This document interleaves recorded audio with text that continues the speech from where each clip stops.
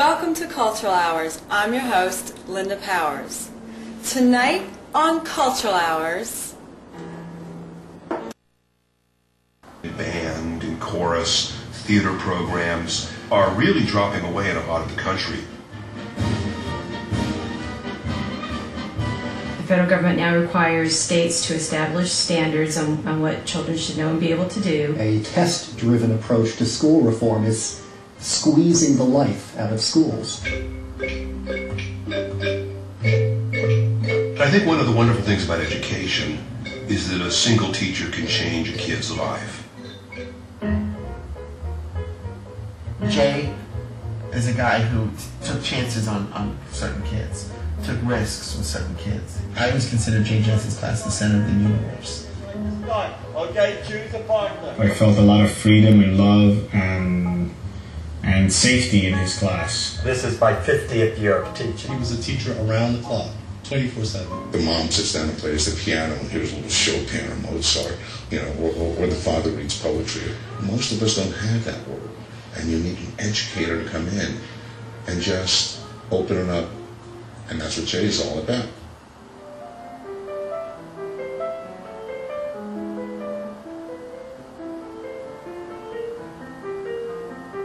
Artists.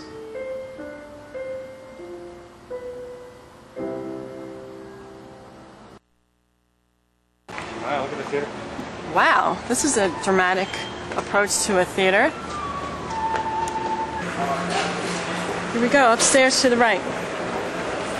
It's really like being in a work, a museum class act. So I'm your host, Linda Powers. We're at the Palm Beach International Arts Film Festival, and you are I'm Will Buckley, and I'm the uh, volunteer coordinator for the festival this year, the film festival. Um, I just saw Class Act. It was excellent. Um, very I've seen the film actually, but I can share with you the energy of the people coming out of the film. They wanted actually more information. They were looking for any kind of additional information on the film, and there was a lot of excitement So, and the other thing that was interesting was I heard a lot of people talking about it being a very special movie in terms of the message that it was presenting to, to the people. So it sounds like it's one of those great little gems that we were lucky enough to get here at the festival this year. It's a story that is excellent, very inspirational, class act, and I have the producers here. Hi. I'm Sara Sackner, I'm the director of Class Act. Heather Winter is the Class Act. So, um, can you tell me um, a little bit about the film? Sure, the film's about uh, a high school drama teacher who went to a large public high school in Miami Beach, Florida, J.W. Jensen, and inspired scores and scores and scores of amazing students who went to also in Boston High School to really pursue their dream. And um, he's known as teacher. We go to school, we have math, we have English, we have regular course subjects. But when you have a teacher who recognizes in you something that, you know, that, that may, maybe you're good at, maybe you're not good at, but really takes time to nurture you and nurture yourself.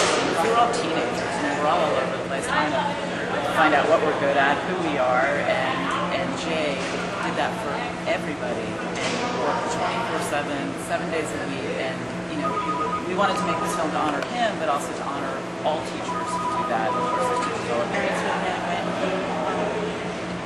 Felt that light that everyone was talking about, that, actually he projected. Do you remember a story? I do because in high school I was very shy, and you know you're taking a drama class, and you're required to get up on stage, you're required to do your scenes and your improv and everything like that.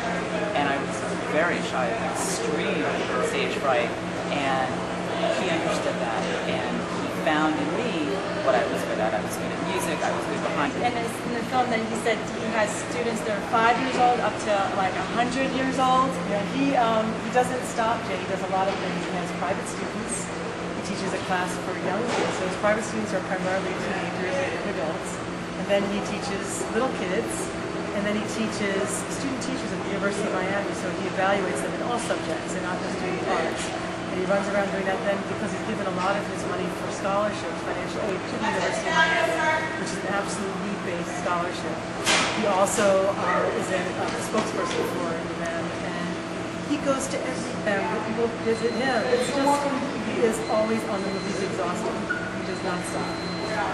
Well, um, your mom, somebody's, whose mom did I meet? We are both of our moms. Oh, okay.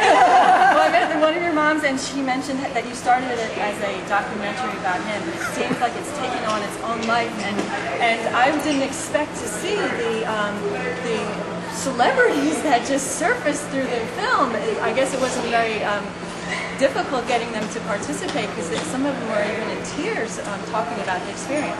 Yeah, the, the film started out, uh, we wanted to honor Jay because, so we decided to do research and we traveled around the country and we began to realize that all of these programs were dropping away all over the country.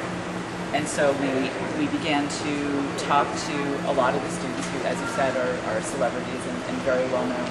And they are so passionate about how Jay changed their life that they want to do whatever they can for children in schools today. And I, I think you, I like how effectively you uh, weaved in um, social issues in the world, in our country, um, and Teachers and for movies. So we have a lot of plans. And do you have a website or some, something where people can see clips of it, um, anyone press related that can have access to um, Sure. Um, the website is uh, www.classactthemovie.com, and you can go there. You can find out about upcoming screenings. You can watch the trailer. You can read all of our fabulous reviews, and um, you can get as much information as you like, and you can contact us directly. Thank you very much. Thank you. Uh, this is Linda Powers of Cultural Hours, and uh, we'll head to the next movie.